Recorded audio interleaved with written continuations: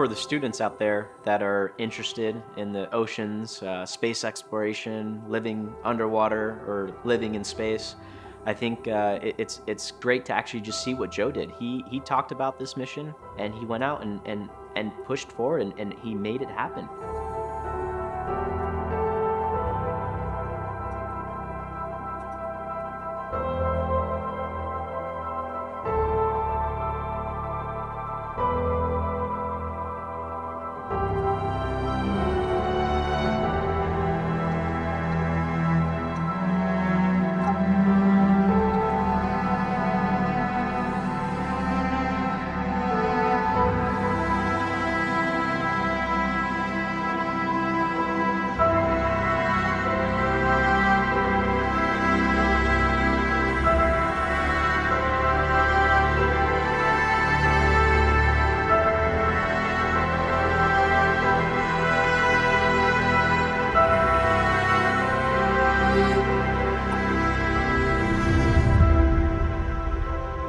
Like people that you work with, it's a lot more fun. And, um, and so look for what you like in people, not for what you don't like. You know, don't let people um, tell you that you can't do it and set your dreams and work hard and make them real.